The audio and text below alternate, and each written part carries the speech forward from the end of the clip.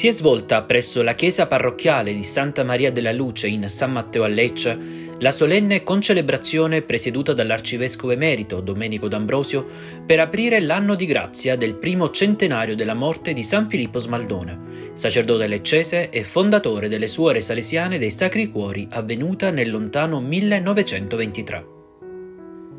La Santa Messa è stata preceduta dal raduno festoso di tanti fedeli, delle religiose della congregazione dello Smaldone e dei bambini delle scuole salesiane, presso il santuario San Filippo Smaldone, per poi raggiungere in corteo processionale la parrocchia per la solenne celebrazione. San Filippo continua sempre ad essere un modello di santità anche oggi. Lui ci ha trasmesso la pienezza del vivere il Vangelo.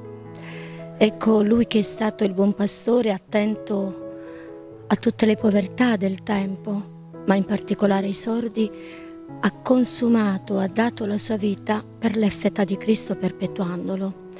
Quindi in lui c'è stato il modello sempre Gesù e il Vangelo come principio, come l'elemento fondamentale della sua vita e oggi a tutti noi e quasi vuole ripeterci, figlie consacrate, figli, figlie ancora laici, perché sono tanti laici che ci seguono. E poi può dire anche madri, padri, carissimi, prendete il Vangelo come guida e Gesù come modello, ma fate sul serio perché questo è il cammino della santità. Camminate con i piedi per terra, ma lo sguardo sempre rivolto verso il cielo. Tante le suore presenti alla celebrazione eucaristica. La madre generale, Suor Lucia Nevingrosso, con le altre sorelle degli istituti, con le relative insegnanti. A concelebrare l'Eucaristia con il presule, oltre al vicario generale Don Luigi Manca, anche i sacerdoti Don Antonio Montinaro, Don Vincenzo Marinaci, Don Adolfo Putignano, Don Giovanni Serio, Don Carlo Santoro, Don Vito Caputo, Don Nicola Macculli, Don Attilio Mesagna, Don Antonio Denanni e il comboniano Padre Piercarlo. San Filippo è prima di tutto un modello da seguire per i sacerdoti di oggi. E San Filippo è uno di quella lunga schiera di santi che hanno messo in atto con tanti sacrifici, con tante fatiche, con tante incomprensioni, questo primato della povertà, degli ultimi. Gli ultimi nel Vangelo devono essere sempre i primi. Qualche volta forse lo dimentichiamo. E i santi ci ricordano che questo è il primato. Quelli che nessuno accoglie, eh, quelli che nessuno degna di uno sguardo, di un'attenzione, sono i ben accolti, i benvenuti nella casa del Padre. San Filippo Smaldone poi ha scelto tra gli ultimi, ancora ultimi ultimi, esclusi dalla, dall'ascolto. E Gesù ha fatto anche questi miracoli, ha risanato i sordi, ha dato la lingua ai muti. Ecco, Papa Benedetto XVI, nella messa per la canonizzazione in piazza San Pietro, avvenuta esattamente 16 anni fa, domenica 15 ottobre 2006, ha pronunciato l'omelia che sintetizza la vita e la ricchezza di questo uomo di Dio. San Filippo Smaldone, disse Ratzinger, sacerdote dal cuore grande, nutrito di costante preghiera e di adorazione eucaristica, fu soprattutto testimone e servo della carità, che manifestava in modo eminente nel servizio ai poveri, in particolare ai sordi, ai quali dedicò tutto se stesso. L'opera che egli iniziò prosegue grazie alla congregazione delle Suore Salesiane dei Sacri Cuori da lui fondata e che è diffusa in diverse parti d'Italia e nel mondo. Nei sordi San Filippo Smaldone vedeva riflessa l'immagine di Gesù ed era solito ripetere che come ci si prostra davanti al Santissimo Sacramento, così bisogna inginocchiarsi davanti a un sordo. Cosa vogliamo fare in quest'anno di grazia, così noi lo vogliamo chiamare? Ecco, ripercorrere un poco i passi di San Filippo Smaldone e i passi di Gesù, chiaramente, che sono i passi di Gesù. E come lo vogliamo fare? Ecco, così affidandoci soprattutto a Gesù Eucaristia, a Maria che sono i pilastri della spiritualità del nostro Padre fondatore, però impegnandoci con serietà, come dicevo poc'anzi, e chiediamo al nostro Padre fondatore di custodire questa primazia dell'Eucaristia e la devozione mariana.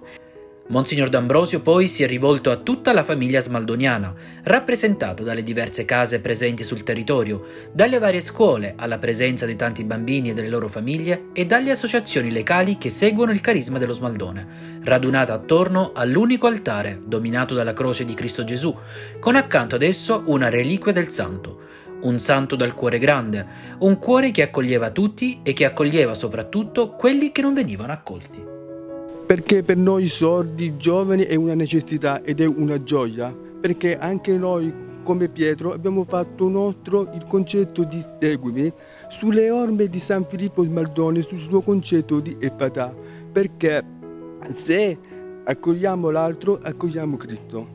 Le suore, le suore dobbiamo solo dire grazie, perché eh, grazie alla loro vocazione, alla loro carisma, eh, continua nel tempo, anzi ti, posso, ti può dire di più, lo, con la loro intelligenza hanno, cioè si, si sono adeguati al tempo, ai cambiamenti del tempo, sia spirituali che culturali.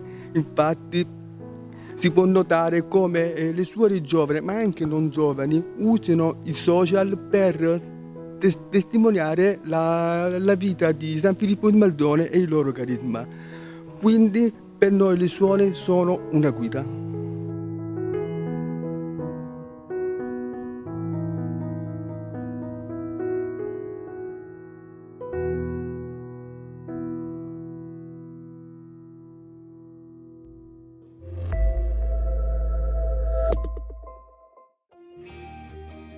La parrocchia Maria Regina di Squinzano, guidata dal parroco Don Vanni Visconti insieme al locale comitato Laudato Si, composto da molte associazioni squinzanesi, hanno organizzato presso la sala Elvira Passante una due giorni di incontri sul tema ecologia integrale e sviluppo del genere umano. Attraverso un parterre ricco di ospiti sono stati affrontati in lungo e in largo tutti i temi proposti dalla Laudato Si la prima enciclica sociale di Papa Francesco. Tra gli ospiti del meeting, cui un ruolo importante hanno avuto anche i ragazzi del liceo Virgilio Redi di Squinzano, anche Ferdinando De Giorgi, commissario tecnico della nazionale italiana di pallavolo e campione del mondo ed Europa. A chiusura del convegno, l'ultima sera si è parlato di progettualità e futuro, insieme a Fra Francesco Zecca, coordinatore dell'Ufficio Giustizia, Pace e Integrità del Creato dei Frati Minori d'Italia e di Albania, in collegamento videotelefonico con Cecilia Dall'Oglio, direttrice associata dei programmi europei del Movimento Laudato Si, Loredana Capone, presidente del Consiglio regionale pugliese, a Paolo Pagliaro, consigliere regionale, e a Monsignor Nicola Macculi, consigliere ecclesiastico nazionale di Coldiretti.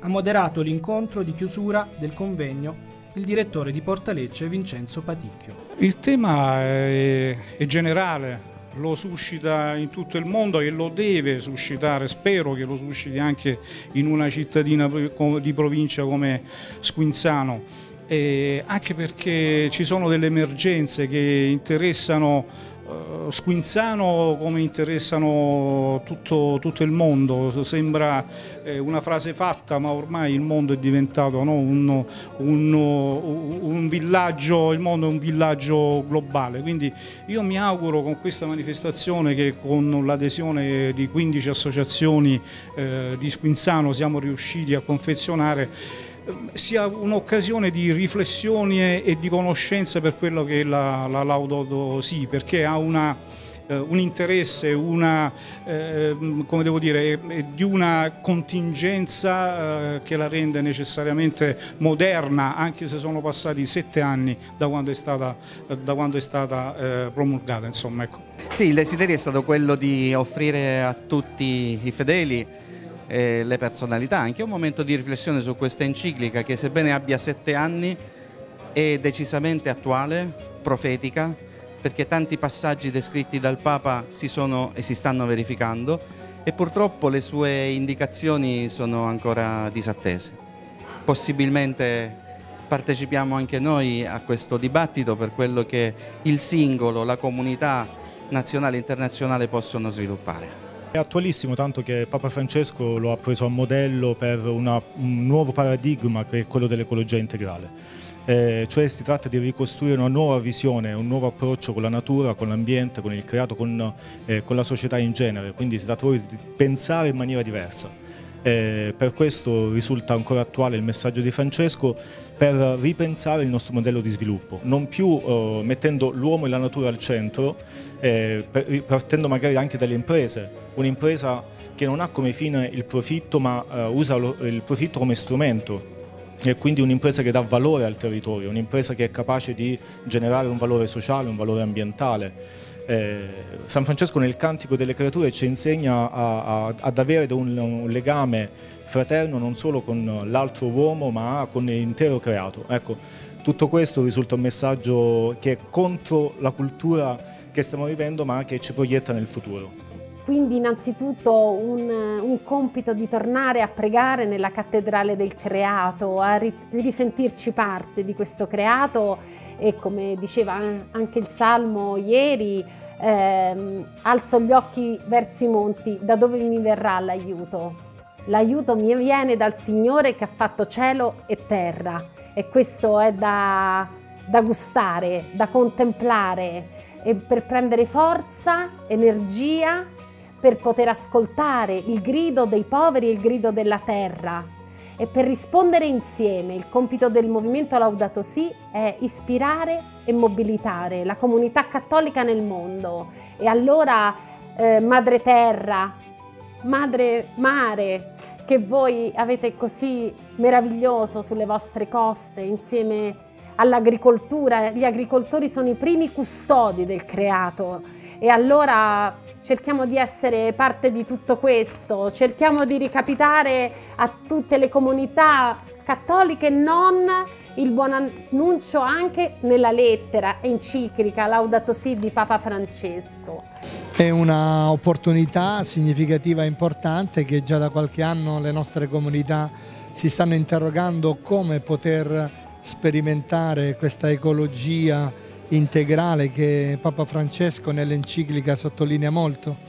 Sono convinto che i nostri gruppi, dai ragazzi agli adulti, possono fare un bel cammino per capire che questa madre terra ha bisogno dell'aiuto di tutti, dei piccoli come dei grandi, non semplicemente in alcune giornate, ma acquisire quello stile di vita che caratterizza e rafforza la vita ecclesiale, anche attraverso scelte significative nell'acquisto, nell'attenzione ai rifiuti e anche nella, nell'abbattere quella grande piaga che è la povertà. La politica deve determinare tutte quelle situazioni e quelle opportunità che rendano eh, possibile eh, la sostenibilità dello sviluppo, perché è la politica che decide le strade dello sviluppo, eh, attraverso le leggi, attraverso i regolamenti, attraverso l'approvazione o meno eh, dei vari progetti che si realizzano. Quindi decidere per esempio per l'uso del carbone o decidere per l'uso delle energie rinnovabili è una scelta che fa la politica sulla base ovviamente dei progetti che si determinano ma anche delle leggi.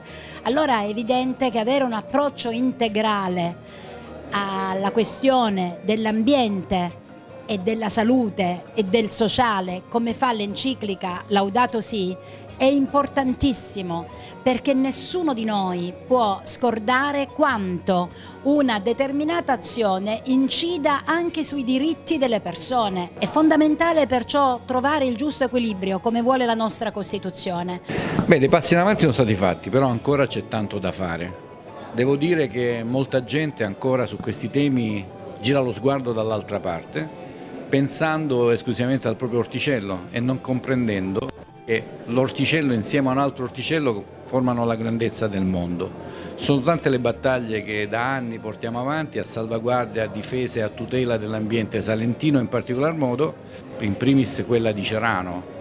Il fatto che purtroppo con questa crisi energetica non si possa eh, più contare sull'ipotesi che si era ormai definita con lo spegnimento della centrale nel 2025 è un problema serio e molto grave che riguarda in particolar modo il nostro territorio, così come fummo i primi a evidenziare quello che l'Ilva andava a creare su territori con una serie di inchieste giornalistiche realizzate molti anni fa. Quello che eh, rischiamo è purtroppo che in questa fase dove sta prendendo sempre più corpo la suggestione della guerra, del caro bollette, della crisi energetica possa consentire di fatto alle multinazionali in primis, ma in generale, il superamento eh, di una sensibilità che ormai si è creata nell'opinione pubblica a favore dell'ambiente e contro la devastazione da parte di questi soggetti che per scopi, spe, prettamente speculativi passano sopra dire, uno dei valori più alti che abbiamo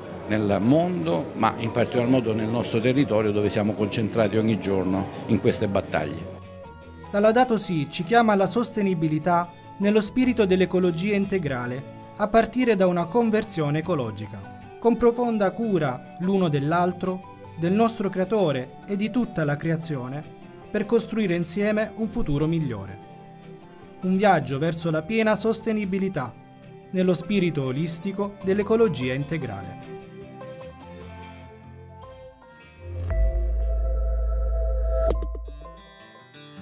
Era un evento atteso da oltre vent'anni.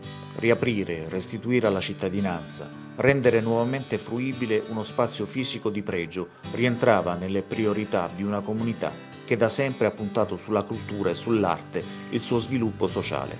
Sabato 16 ottobre è stato inaugurato il rinnovato e riqualificato Teatro Excelsior Carmelo Bene di Campi Salentina. Realizzato nel 1945 da privati cittadini, subito dopo la fine del secondo conflitto bellico, il teatro ha segnato ed accompagnato in quasi 50 anni il percorso di rinascita della comunità campiota, attestandosi come punto di riferimento di fasti e grandi eventi, con la presenza di ospiti di caratura nazionale. Un luogo del cuore in cui la storia incontra l'affetto, la considerazione e la riconoscenza. Alla cerimonia di inaugurazione erano presenti diversi rappresentanti delle istituzioni statali, regionali e provinciali, oltre naturalmente all'intera amministrazione comunale di Campi Salentina. Nella circostanza è stata anche ufficializzata la nuova denominazione del teatro.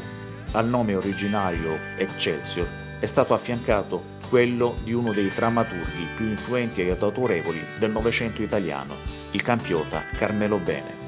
Il teatro, in base ad una scelta dell'amministrazione comunale, verrà gestito direttamente da una società o un ente individuato tramite bando di gara. Cine Teatro Excelsior Carmelo Bene, una sfida che ci aspetta, ma noi ci faremo trovare pronti. Eh, è già pronto in questi giorni, eh, nella, alla fine del, del, mese uscirà un bando di gestione perché l'obiettivo è quello di riempire di contenuti, di vita il teatro. Oggi abbiamo iniziato con due poesie scritte da Carmelo Bene per Campi Salentina e allora l'obiettivo sarà quello di far rivivere l'anima e l'essenza di questo grande attore a cui noi abbiamo dato i Natali, Carmelo Bene. 275 posti a sedere tra platea e galleria, un ampio foyer ed una suggestiva roof garden per spettacoli all'aperto. Questi i numeri principali della nuova struttura, per un costo totale di 3 milioni di euro impiegati nella riqualificazione. Tanta gente, tante le scuole eh, che hanno partecipato, era un momento sentito eh, che forse la cittadinanza aspettava da vent'anni, quindi oggi riconsegniamo alla popolazione ciò che è della popolazione. E speriamo di poter vedere sempre così gremito il Teatro Excelsior.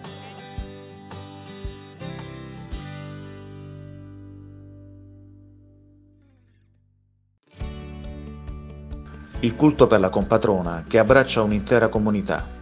Campi Salentina ha festeggiato nello scorso fine settimana la festa della Madonna della Mercede, uno straordinario momento di grazia per la città, contraddistinto da un'intensa e partecipata presenza di fedeli alla novena preparatoria. è, nei tre giorni della festa, un interminabile omaggio devozionale, raccoglimento, fede, preghiera per rendere onore alla Vergine Maria. Particolare emozione nelle parole di padre Michele Cigli, parroco di San Francesco d'Assisi. Proprio la comunità dei Cappuccini di Campi cura l'aspetto religioso dei festeggiamenti della compatrona. E sono grato e lieto di poter esprimere la mia soddisfazione nel, che da due anni sono qui, ma è la prima volta che questa festa della Madonna della Mercede ha un risvolto, ha una manifestazione pubblica esterna proprio per mettere in evidenza il ruolo, la funzione e la missione che Maria ha avuto da Gesù Cristo dalla croce e quindi con il titolo Madonna della Mercede anche lei ha partecipato in pienezza accanto a Gesù Cristo proprio per riscattarci da quello che è il legame perciò abbiamo che il bambino ha una, una, una uh, catena che si spezza perché è tramite Maria che possiamo sperimentare la dolcezza e la bellezza dell'essere liberati dalla schiavitù del peccato e della morte. Ma da oltre 200 anni Madonna della Mercede vuol dire anche la grande fiera mercato, giunta quest'anno alla 225 edizione. A sottolineare quanto rilevante sia l'evento per tutto il territorio nord-salentino, la dichiarazione del sindaco di Campi, Alfredo Fina. Si sente, si sente tra la gente questa voglia di ripartire, questa voglia di ritornare. Io ho ricevuto tantissime telefonate da cittadini e anche da gente di, di, dei paesi limitrofi che mi chiedevano se finalmente si faceva la fiera. È una storia, è una tradizione, sono 225 anni, è veramente tanto tempo. Quindi oggi ci riappropriamo della nostra fiera, della nostra veramente festa come se fosse una festa patronale, sperando che possa diventare ancora più di prima un momento di sviluppo, di comunità, di collettività e anche di ripartenza verso un futuro migliore tante le manifestazioni civili che hanno accompagnato la festa e la fiera. Tra queste il Degustando, l'appuntamento enogastronomico realizzato dall'ente fiera Madonna della Mercede. Siamo molto contenti, molto soddisfatti e Degustando ormai è arrivato all'undicesimo anno e siamo felicissimi di come sono andate le cose, della, della partecipazione che c'è stata eh, sia a livello di aziende che eh, hanno partecipato in maniera molto eh, entusiasta no? per presentare i loro prodotti e in un periodo anche dal punto di vista economico un po' nero, sappiamo tutti, e anche la partecipazione della, del paese e la partecipazione dei paesi limitrofi e, di, e dei luoghi qui vicino che hanno contribuito con la loro presenza a rendere questa festa ancora più magica.